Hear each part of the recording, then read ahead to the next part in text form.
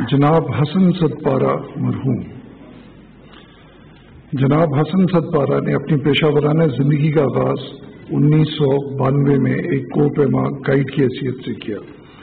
आप वो वाइड पाकिस्तानी हैं जिन्होंने दुनिया की छह बुलंद तरीन चोटियों, माउंट एवरेस्ट, नांगा पर्वत शर्रम गाशपुरम टू और ब्रॉड पीक को सर किया।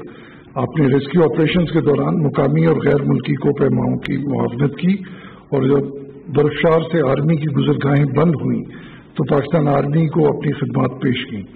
2007 में आपने पाकिस्तान में वाक़ 8000 मीटर से बुलंद तमाम चोटियाँ असर की, जिसकी बिना पर हुकूमत ने 2009 में आपको तमगा इम्तियाज़ से नवाजा।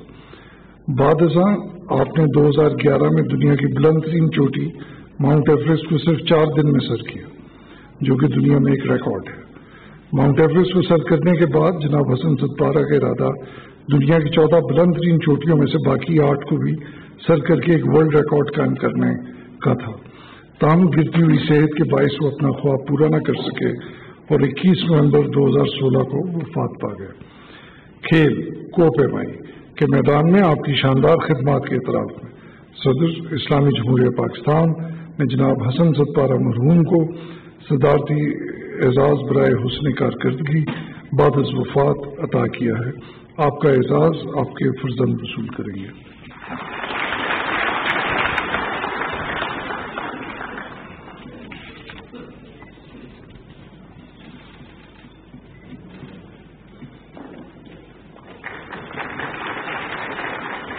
जनाब मोहम्मद अयूब, जनाब मोहम्मद अयूब ने अपने वालिद की वफात के वक्त